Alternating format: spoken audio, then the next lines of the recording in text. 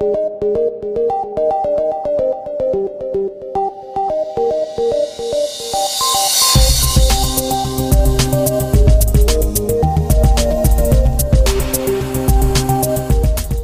back everybody to N90X and the NetApp series.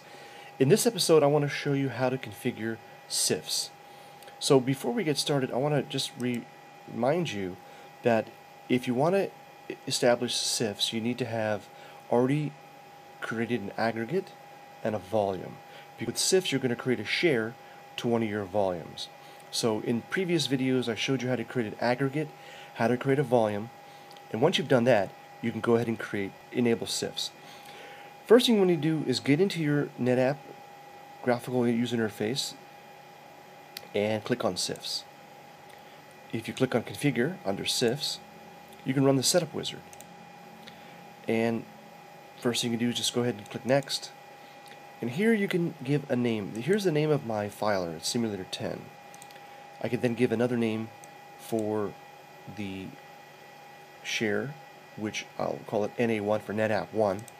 If you have any Win servers, you can add them here. I don't have any, so I'm going to click Next. Now I'm going to use uh, NT local user uh, as the authentication, and my workgroup name is workgroup, but if you happen to be using a different workgroup, you can put that information here. Click Next. And security style, multi-protocol. If you have both NFS or network file share and CIFS, you can click on multi-protocol and allow both protocols to access the share. If you have only CIFS licensed, you need to click on NTFS only.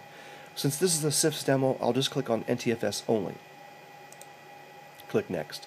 And here is all of my settings. I click Commit, commit on the Net, NetApp. And then we're done. That was in real time. Close this. So CIFS is now running. So next thing you want to do is add a share. So by clicking on shares and add, you can create a share name. I'll call it Joe Stuff and a mount point. Remember you created a volume earlier. You then need to point to that volume. It was volume 1 that I created and a share description. I'll call it Joe Stuff again. You can define maximum number of users and force a Unix group if you want here. Uh, I don't have that, so I don't need that. I click add and Joe's stuff was created, the share. Uh, if I want to check on reports, I can see now that Joe's stuff uh, created as a share against volume 1 and everybody has access to it. So let's see what happens if, if I'm on a Windows XP machine, I want to connect to the share. What you'll do is start menu, my network places, and here it is, Joe stuff on the Simulator 10. And as you can see, I have access to it. There's one file already in the share. If I'm on a Macintosh, for instance, as I am here, uh, I see the simulator here, and I need to connect as, and let me try connecting as a guest. Guest access is not enabled. I'll show you how to do that in just a second. I have a registered administrator account and that gives me access to Joe's stuff and here's the file that we saw earlier uh, on the Windows from the Windows machine. If you want to activate the guest account get back into the filer go into CIFS configure and security. And here's where you configure the guest account. Nobody seems to be working. Click on nobody click apply and we should be done with that. Now if I go back to my Mac and I disconnect and then try to reconnect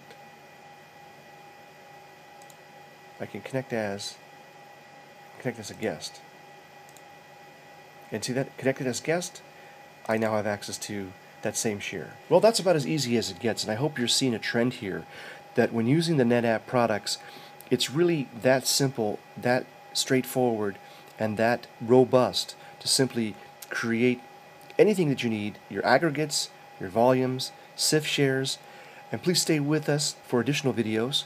and we'll show you some additional features. From all of us at Altercom and N90X, thank you for watching, and we hope to see you on the next video.